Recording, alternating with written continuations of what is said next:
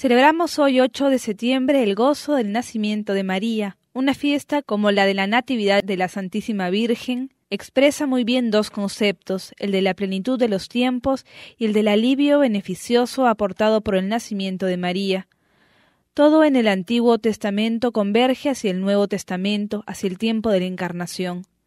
En ese momento de plenitud se inserta María, la Natividad de nuestra Madre, comenta San Andrés de Creta, representa el tránsito de un régimen al otro, porque se convierte en realidad lo que era más que un símbolo, una figura, sustituyendo lo antiguo por lo nuevo. Quizás logremos entender mejor lo que representa el nacimiento de la Virgen para la humanidad si se tiene en cuenta la condición de un encarcelado.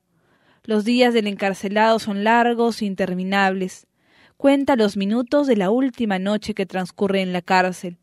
Después, finalmente, las puertas se abren. Ha llegado la hora tan esperada de la libertad.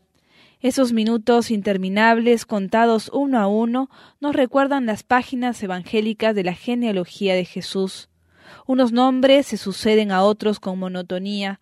Abraham engendró a Isaac, Isaac engendró a Jacob, Jacob engendró a Judá, Yesé engendró a David, el rey, David engendró a Salomón, hasta que suena finalmente la hora querida por Dios, es la plenitud de los tiempos, el inicio de la luz, la aurora de la salvación. Jacob engendró a José, el esposo de María, de la cual nació Jesús, el llamado Cristo.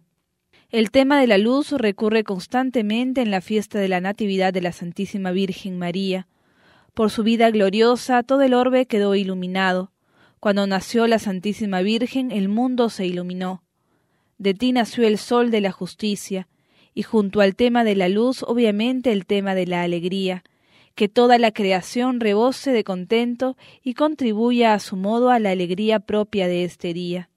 Madre, desde lo más íntimo de nuestro corazón, te pedimos que nazcas espiritualmente en nuestras almas, para que cautivados por tu dulzura, vivamos siempre unidos a tu dulce corazón.